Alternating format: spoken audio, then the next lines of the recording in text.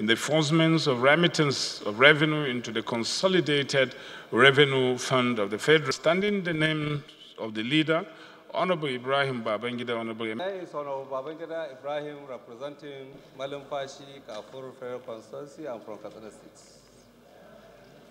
Mr. Speaker, I move for the second reading of a bill for an act to amend the Fiscal Responsibility Act 2007 to provide for the expansion, expanded scope of borrowing power to the government, repeal the Fiscal Responsibility Act 2007 and enact the Fiscal Responsibility Bill to provide for prudent management of the national resources, ensure long-term macroeconomic stability of the national economy, secure greater accountability and transparency in fiscal operations within the medium-term fiscal policy framework, the establishment of Fiscal Responsibility Commission to ensure the promotion and enforcement of the national economic objectives, to enhance the power of the Commission in the consolidated revenue fund of the Federation and to provide penalties for violations of the provisions of the bill and establishment of Fiscal Expansionary Commission and to promote long-term economic growth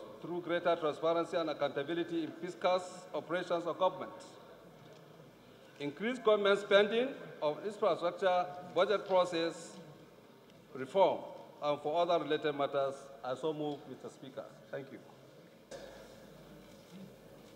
On the repeal of Fiscal Responsibility Establishment Act 2007 and the enactment of Fiscal Responsibility Establishment Bill to, among other things, ensure the promotion and realization of national economic objectives and for other related matters.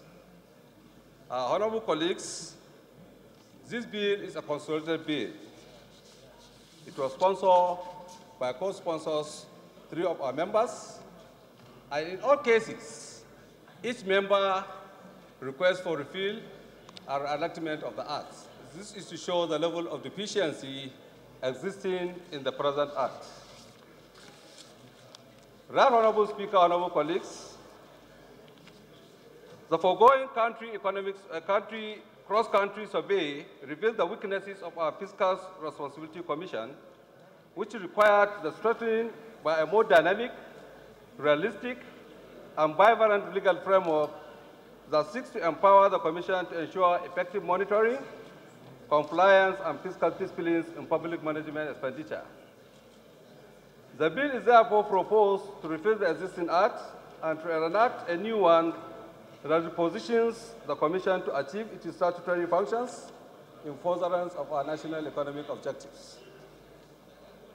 Honorable colleagues, the objective of bills, these bills include, among others, A, the bill seeks to strengthen the power of the Commission by enlarging its functions, which is beyond the contemplation of the existing acts, and thus give room for proper utilization of the Commission.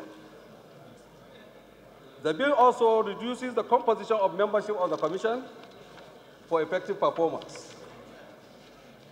The bill also introduced the office of the Secretary to head the administration of the commissions as against the present practice where the chairman of the commission acts as an accounting officer of the commission. The bill also provides what the medium-term expenditure framework MTEF should contain, being in details, in context, and in forms. The bill also makes it mandatory for the Minister of Finance to make public consultation while preparing the medium-term expenditure framework as against the current practice of making the consultation optional. In addition also, additional institutions are added to the list of those who should put input while preparation of the medium-term expenditure framework. The bill has also gone further to provide limit for the preparation of medium-term expenditure framework, which is latest by August, and also the period for the submission, preparation, and submission of proposed budget to the Federal Executive Council, which is latest by September.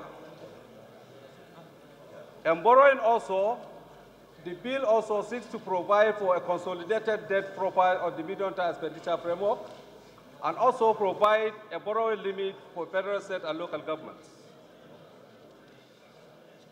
The current enforcement provision in the existing act is also inadequate, and therefore the bill provides for an in-depth enforcement procedure where punishments and sanctions will be meted out of any person who either directly or indirectly absolve the Commission from performance of its duties.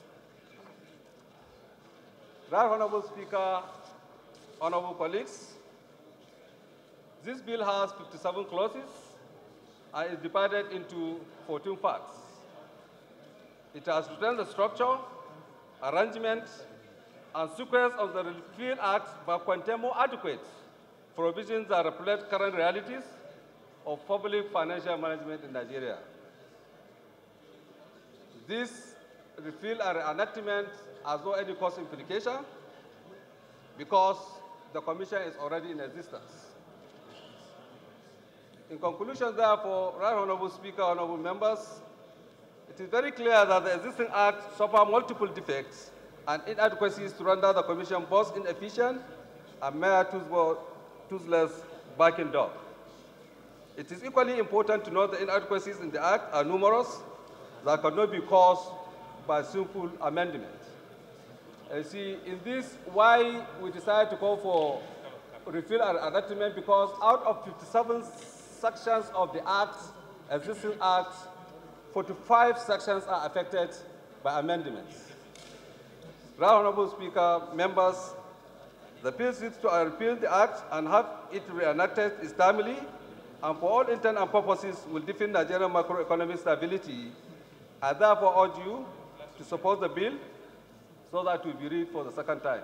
Thank you very much. Dated bill, and uh, it was earlier consolidated with the bill sent by the executive, which was withdrawn and replaced. So we're putting everything together and um, referring it to Committee on Finance for further legislative action.